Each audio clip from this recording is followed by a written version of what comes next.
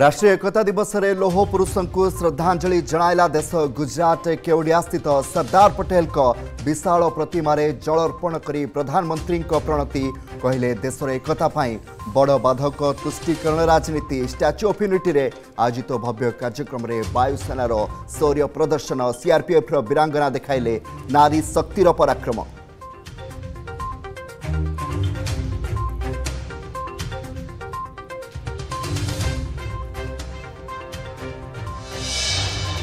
ଲୌହ ମାନବଙ୍କ ଜୟନ୍ତୀରେ ରାଜ୍ୟବ୍ୟାପୀ ରନ୍ ଫର୍ ୟୁନିଟିର ଆୟୋଜନ ରାଷ୍ଟ୍ରୀୟ ଏକତା ଦିବସରେ ଏକତାର ଶପଥ ନେଲା ଓଡ଼ିଶା କଟକ ଏକତା ଗଣ ଦୌଡ଼ରେ କେନ୍ଦ୍ର ଶିକ୍ଷାମନ୍ତ୍ରୀଙ୍କ ଆହ୍ୱାନ ଦେଶର ଅଖଣ୍ଡତା ଏବଂ ସୁରକ୍ଷା ବଜାୟ ରଖିବା ପାଇଁ ନିଜକୁ ସମର୍ପିତ କରିବା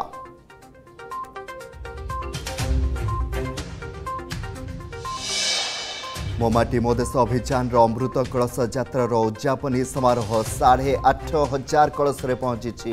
છ લક્ષ ગાંરુ પવિત્ર માટી મેરા યુવા ભારત પ્લાટફર્મર શુભારંભ કલે પ્રધાનમંત્રી કહેલે સમૃદ્ધ ભારત સ્વપ્ન સાકાર હેવા દિગરે આગકુ બઢુଛି દેશ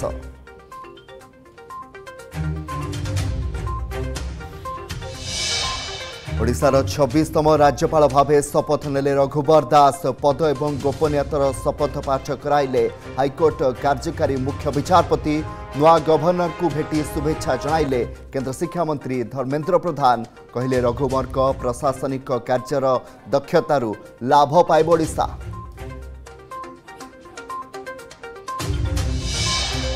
Mahanga double murder case रे प्रताप को अदालती डर वकिलों वकिल मागिले दुई सप्ताह समय कोर्टे हेलेन हाजर वकिल दर्शाइले कैपिटाल हस्पिटाल चली प्रताप चिकित्सा सालीपुर एसडीजेएम कोर्टे शुणा शेष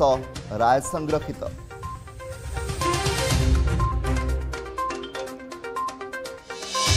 ଶ୍ରୀମନ୍ଦିରରେ ବନ୍ଦ ହୋଇଯିବ କି ଅବଢ଼ା ଆନନ୍ଦ ବଜାରରେ ଅଣସେବାୟତଙ୍କ ପ୍ରବେଶକୁ ନେଇ ବଢ଼ିଲା ଆଶଙ୍କା ଶୃଙ୍ଖଳା ପାଇଁ ମହାସ୍ୱାର ନିଯୋଗର ବାରମ୍ବାର ଅନୁରୋଧ ପରେ ବି ପ୍ରଶାସନ ଚୁପ୍ ପଦକ୍ଷେପ ନ ହେବାରୁ ଅବଢ଼ା ରନ୍ଧା ବନ୍ଦ ପାଇଁ ନିଯୋଗର ଚେତାବନୀ